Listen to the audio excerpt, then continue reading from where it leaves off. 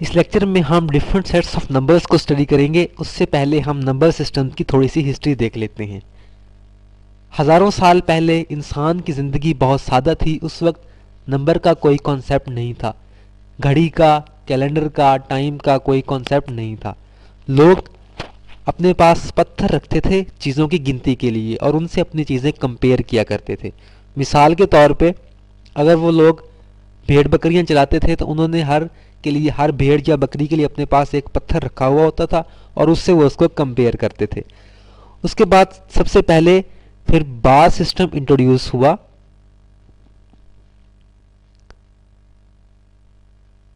Bars numbers को represent करने के लिए बार्स यूज़ किए गए। फॉर एग्जांपल वन को रिप्रेजेंट करने के लिए एक बार टू को रिप्रेजेंट करने के लिए दो बार थ्री को रिप्रेजेंट करने के लिए, तीन बार एंड सो ऑन ये सिस्टम एक्चुअली इंसानी हाथ की उंगलियों से उन्होंने ईजाद किया था, जिसमें पाँच उंगलियाँ होती हैं और पाँच को रिप्रेजेंट करने के लिए वो पाँच बार यूज़ करते थे। एजिप्टियंस भी काफ़ी अर्सा इस सिस्टम को यूज़ करते रहे। फिर सबसे पहले एजिप्टियंस ने एक नंबर ऑफ़ सिस्टम इंट्रोड्यूस करवाया, जिसकी बेस टेन थी।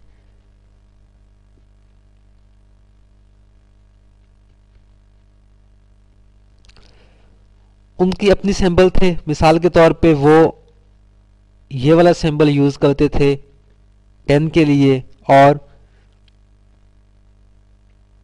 ये वाला सिंबल यूज़ करते थे हंड्रेड के लिए। इस तरीके से उन्होंने अपनी एक पूरी गिनती बनाई थी।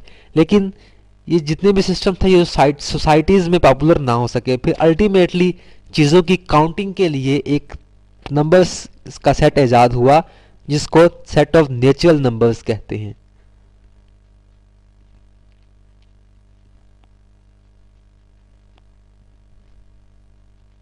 Set of natural numbers set of natural numbers को एन से हम डिनोट करते हैं और ये वन से स्टार्ट होता था one two three and so on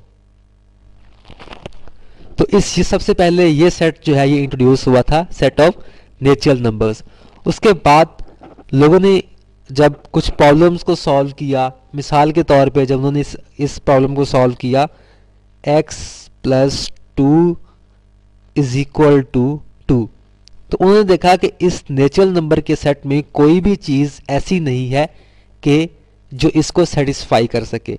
या मिसाल के तौर पे अगर किसी के पास दो रुपए थे और उसने वो दो किसी के दे रहे थे तो वो उसने दे दिए।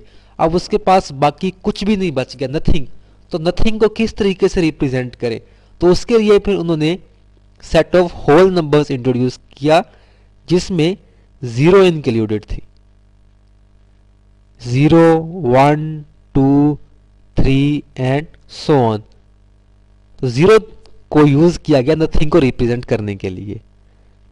सेट ऑफ़ होल नंबर्स उसके बाद कुछ और प्रॉब्लम लोगों ने सॉल्व किए। मिसाल के तौर पे x plus four is equal to two जब इस प्रॉब्लम को सॉल्व किया तो उन्होंने देखा कि इसको भी सेटिस्फाई करने के लिए एक्स की कोई वैल्यू ऐसी नहीं है, जो natural set of natural numbers में हो या सेट ऑफ़ होल नंबर्स में हो, या जब कोई चीज़ डिक्रीज हो रही हो तो उस डिक्रीज को कैसे रिप्रेजेंट किया जाए? अगर किसी पर्सन ने किसी के चार रुपए देने हो और उसके पास दो रुपए हो, दो वो दे देगा अब बाकी कैसे पता चलेगा हाँ भी कितने उसने देने हैं? तो उसके लिए फिर उन्होंने नेगेटिव नंबर्स इंट्रोड्यूस करवाए या इंटीजर्स जो डिक्रीज को शो करते थे, जिसमें हमारे पास इंटीजर्स में पॉजिटिव नंबर्स भी थे और नेगेटिव नंबर्स भी थे। एंड सो ऑन यहाँ तक तो ये नंबर्स के सेट हो गए सेट ऑफ़ नेचुरल नंबर्स हो गया सेट ऑफ़ होल नंबर्स हो गया और इंटीजर्स हो गया। नेचुरल नंबर्स काउंटिंग के लिए वन से स्टार्ट होते हैं up to so on whole numbers में ज़ीरो इंट्रोड्यूस होगी और इंटीजर्स में नेगेटिव नंबर्स भी आ गए। उसके बाद जब और कुछ प्रॉब्लम सॉल्व उन्होंने किए, मिसाल के तौर पे ये two x is equal to three तो एक्स की वैल्यू आई थ्री ओवर टू तो उन्होंने देखा ये ना तो इस सेट ऑफ़ इंडिविजुअल्स में है, ना होल नंबर्स में है, ना नेचुरल नंबर्स में है तो फिर रैशनल नंबर्स इंट्रोड्यूस हुए।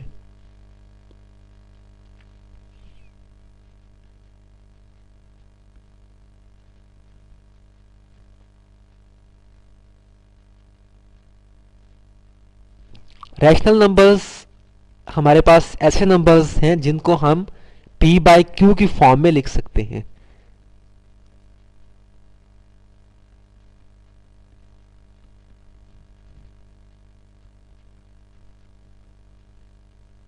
या इंटीजर ओवर इंटीजर की फॉर्म में लिख सकते हैं। Rational numbers that can be written in the form of p by q और q से हम इनको रिप्रेजेंट करते हैं। Q is set of rational numbers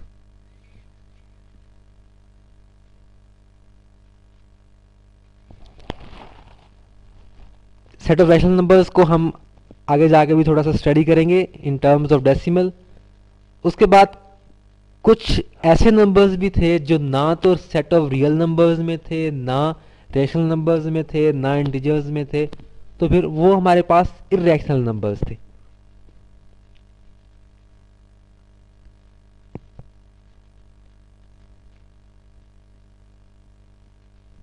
irrational numbers हमारे पास ऐसे नंबर्स होते हैं जिनको हम p बाय क्यू की फॉर्म में नहीं लिख सकते।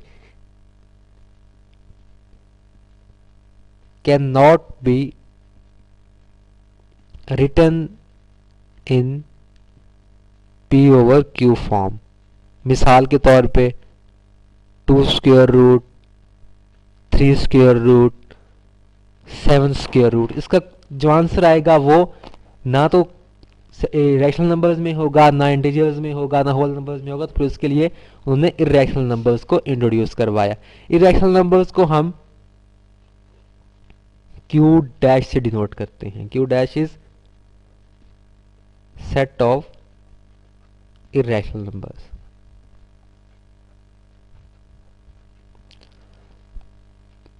फिर एक और सेट इंट्रोड्यूस हुआ set of real numbers R से इसको डिनोट किया जाता है। इसमें हमारे पास यूनियन होता है रैशनल नंबर्स का और इरेशनल नंबर्स का। कि रियल नंबर्स के सेट में हमारे पास रैशनल नंबर्स भी होते हैं और इरेशनल नंबर्स भी होते हैं। अब हम डेसिमल रिप्रेजेंटेशन देख लेते हैं रैशनल नंबर्स की और इरेशनल नंबर्स की।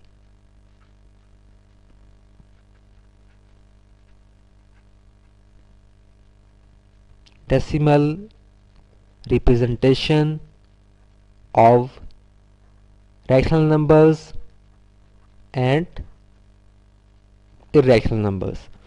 अब कैसे हमें पता चलेगा कि कोई एक नंबर रैशनल नंबर है या नहीं, या इरेशनल नंबर है या नहीं? मिसाल के तौर पे अगर ये हमारे पास एक नंबर दिया गया हो 16 स्क्वायर रूट अब हम इसको कैसे देख के कहेंगे कि ये हमारे पास रैशनल नंबर है या इरेशनल नंबर है।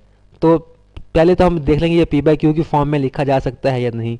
तो इसको हम सॉल्व कर लें तो ये हो जाएगा फोर तो फोर को हम इस फॉर्म में लिख सकते हैं four over one which is rational number अब एक और एग्जांपल देख लें कि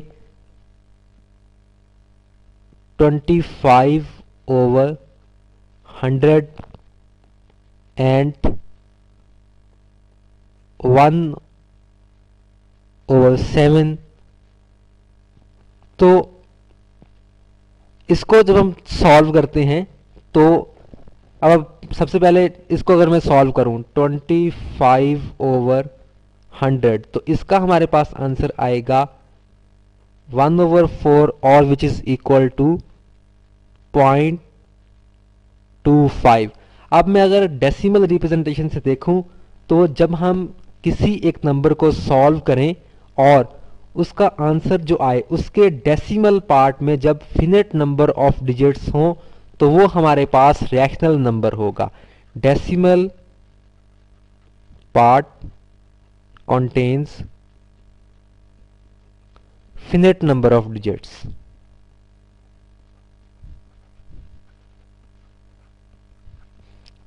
अब मैंने इसको सॉल्व किया वन ओवर फोर तो इसका आंसर मेरे पास आ गया पॉइंट टू फाइव जिसमें फिनिट नंबर ऑफ़ डिजिट्स हैं डेसिमल पार्ट में।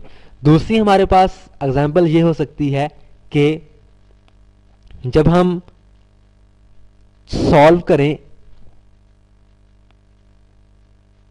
किसी भी एक नंबर को जो कि पी बाई क्यू की फॉर्म में लिखा हुआ हो और हमारे पास जो उसका आंसर आए, मिसाल के तौर पर अब इसका आंसर आ रहा है zero point one four two eight five seven one four two eight five seven and so इसी तरीके से आगे जा रहा है। पहला केस हमारे पास था कि उसमें फिनेट नंबर ऑफ़ डिजिट्स थे, वो टर्मिनेटिंग था, यानी कि एंड हो रहा था। दूसरा केस अब हमारे पास ये है कि ये हमारे पास एंड नहीं हो रहा, लेकिन डेसिमल पार्ट जो है वो एक ख़ास सीक्वेंस से रिपीट हो रहा होगा। यहाँ से आप देख लें one four two eight five seven one four two eight five seven similarly ये बिल्कुल ऐसे ही आगे चलते जाएगा। या एक और एग्जांपल देख लें वन ओवर थ्री जब इसको सॉल्व करेंगे तो इसका आंसर आपके पास आता, आ जाएगा zero point three three three and so on ये बिल्कुल इसी तरीके से आगे चलता जाएगा। तो इस चीज़ को हम कहते हैं रिकरिंग डेसिमल्स कि जब हमारे पास डेसिमल पार्ट रिपीट हो रहा होगा तो हमारे पास जो नंबर होगा, वो भी उस वक्त रैशनल नंबर्स होगा। तो हमारे पास दो केसेस आ गए कि या तो हमारे पास डेसिमल पार्ट में फिनिट नंबर ऑफ़ डिजिट्स हों, तब हमारे पास नंबर रैशनल होगा, या डेसिमल पार्ट रिपीट हो रहा होगा तो तब हमारे पास नंबर रैशनल नंबर होगा। रिकरिंग डेसिमल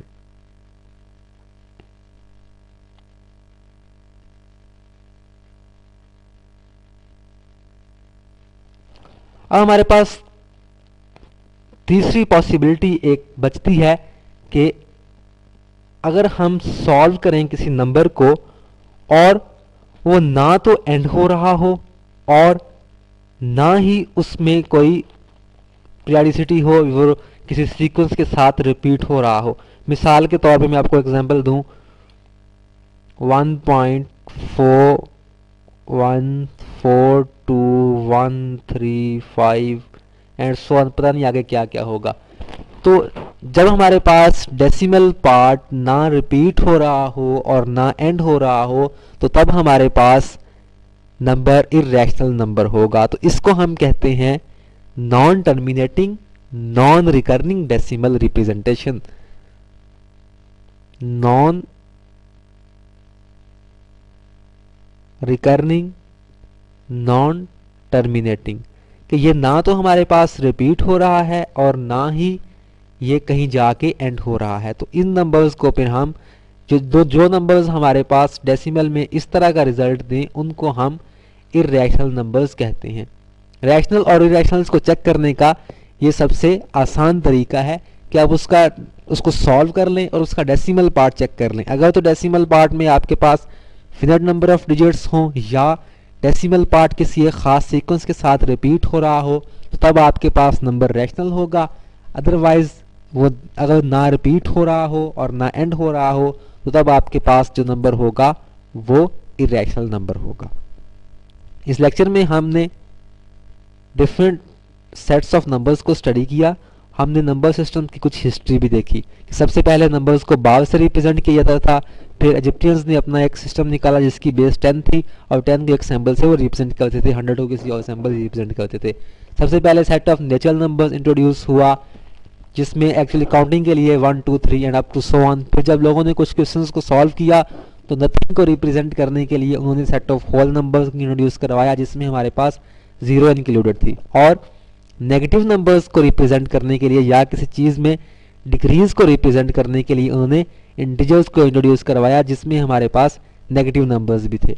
बाद में कुछ ऐसे केसेस आ गए कि कोई एक चीज़ डिवाइड हो रही थी। अब मैं अगर यहाँ पे एक आपको रियल लाइफ एग्जांपल दे दूँ कि आप किसी पार्टी में जाएँ और आपके पास दो पिज़्ज़ा हों और आपने उनको पाँच लोगों में डिवाइड करना हो तो हर किसी के हिस्से में टू ओवर फाइव पार्ट आएगा। तो ये टू और फाइव जो था, ये ना इन इंटीजर्स में था, ना होल नंबर्स में से था, ना नेचुरल नंबर्स में था। फिर इस चीज़ को रिप्रेजेंट करने के लिए रैशनल नंबर्स को इंट्रोड्यूस करवाएगा, जो जो नंबर्स हमारे पास पी बाई क्यू की फॉर्म में लिखे जा सकते थे। लेकिन उसके बाद फिर कुछ ऐसे नंबर्स भी थे, जो पी बाई क्यू की फॉर्म में नहीं लिखे जा सकते थे तो फिर उसके लिए इरेशनल नंबर्स को इंट्रोड्यूस करवाया गया।